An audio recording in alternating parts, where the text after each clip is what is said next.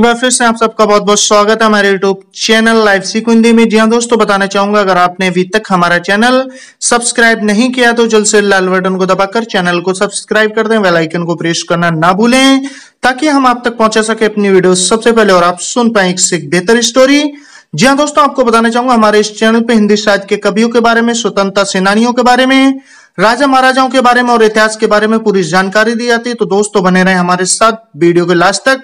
जी हाँ दोस्तों, आज मैं आपको इस वीडियो में बताने वाला हूँ काका हाथरसी का जीवन परिचय। उनके जीवन से जुड़ी कुछ घटनाओं के बारे में, कुछ कही अनकही बातों के बारे में। तो आइए दोस्तों, वीडियो को स्टार्ट करते हैं। जी हाँ दोस्तों, आपको बताना चाहूँगा कि काका हाथरसी बहुत ही हास्य कवि थे। जी हाँ दोस्तों, उनकी कुछ कविताएँ इतनी प्रसिद्ध हुई, जिसकी वजह से वो पूरे विश्व में छा गए। जी हाँ दोस्तों, आपको बताना चाहूँगा कि इलाहाबाद से प्रकाशित होने वाली पत्रिका गुलदस्ता में छपी काका हाथरसी की ये पहली कविता थी, जो मैं आपको बताने वाला हूँ, घुटा करती है मेरी हसरते, दिन रात सीने में कहीं मेरा दिल घुटते घुटते शख्स होकर सिल न बन जाए। जी हाँ दोस्तों, आपको बताना चाहूँगा उनकी ऐसी काफ़ी कुछ कविताएँ जो बहुत ही ज़्यादा प्रसिद्ध हुई। जी हाँ दोस्तों, काका हाथरसी का असली नाम प्रभु लाल गर्ग था। मुफलिसी में जीवन गुजारने के बावजूद काका के चेहरे पर दर्द की कोई भी शिकन नहीं दिखी। उन्होंने हमेशा रोते हुए को हंसाने का काम किया। जहाँ दोस्तों, इसी के तहत आपको बताना चाहूँगा, यहाँ तक कि वो काका हाथरसी अपनी मौत के दिन भी काका ने किसी को रोने नहीं दिया।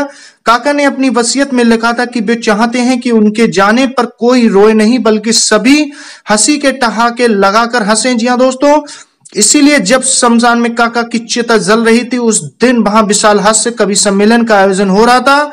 जी हाँ दोस्तों एक संयोग मात्र ही था कि जिस दिन काका का जन्म हुआ, उसी दिन उन्होंने दुनिया को अलविदा कहा। जी हाँ दोस्तों, आइए आपको बताता चलूँ काका हाथरस के जीवन के बारे में, उनके जन्म और स्थान। तो दोस्तों, काका हाथरस का जन्म अग्रवाल परिवार में 18 सितंबर 1906 को हुआ था।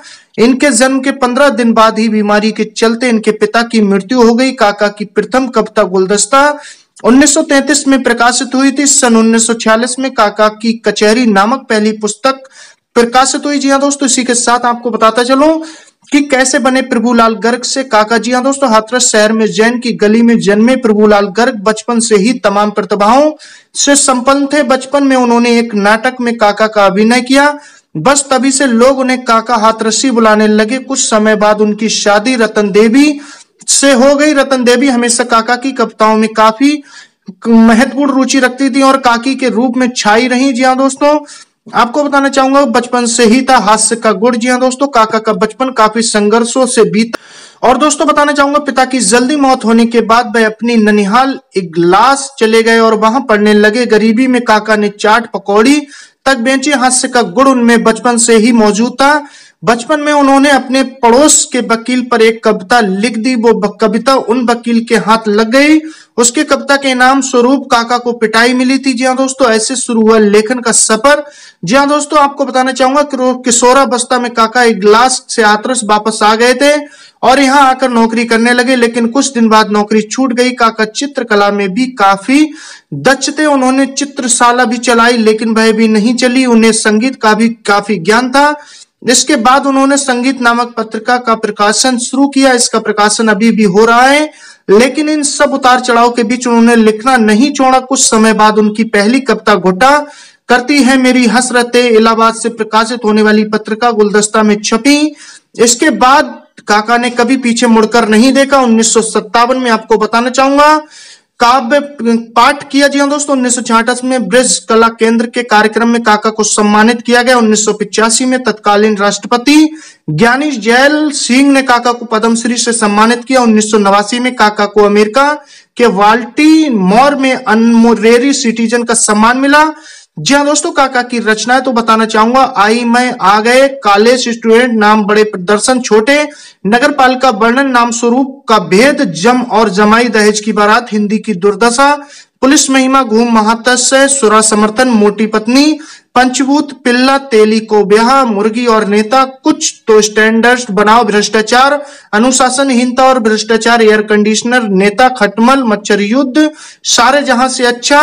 जी हाँ दोस्तों, इनकी आप काफ़ी रचनाएँ थी और आपको बताता चलो, कविता संग्रह तो काका की फुलझड़िया, काका के प्रहसन लूट नीति मंथन करी, खिलखिलाहट, काका तरंग, जय बोलो बेईमान की। यार, सब तक काका के व्यंगन बाढ़ जी हाँ दोस्तों, ये काफ़ी इनकी कविता संग्रह थी जी हाँ दोस्तों, का बताना चाहूँगा, काका हाथरसी बहुत ही अपने जीवन में सुधर और सच्चे इंसान थे, जो हमेशा रोते हुए को भी हंसाने का काम किया करते थे और हमेशा खुश रहा करते थे। मुफलिसी के टाइम में भी उनके चेहरे पर एक भी शिकन की झलक नहीं देखने को मिलती थी।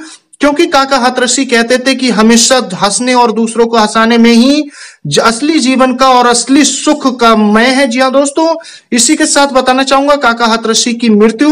तो दोस्तों, जिस दिन उनका जन्म हुआ था, उसी दिन उनकी मृत्यु हुई। जी हाँ दोस्तों 18 सितंबर उन्नीस को दुनिया से रुखसत हो गए। जी हाँ दोस्तों, ये थी काका हाथरसी के जीवन से जुड़ी कुछ बातें, कुछ घटनाएँ जो मैंने आपके साथ शेयर की तो दोस्तों कमेंट्स बॉक्स में ज़रूर लिख के बताएँ। आपको कैसी लगी मेरे द्वारा दी गई जानकारी और ये स्टोरी दोस्तों कमेंट्स बॉक्स में ज़रूर राय साझा करें। और दोस्तों, अगर आपने अभी तक हमारे चैनल सब्सक्राइब नहीं किया तो जल्द से चैनल को सब्सक्राइब कर दें, ताकि हम आप तक और अगली आने वाली वीडियो एक से एक बेहतर स्टोरी पहुंचाते रहे। दोस्तों, मिलते हैं फिर नेक्स्ट वीडियो में। नेक्स्ट स्टोरी के साथ आपने कीमती वक्त दिया। तब तक के लिए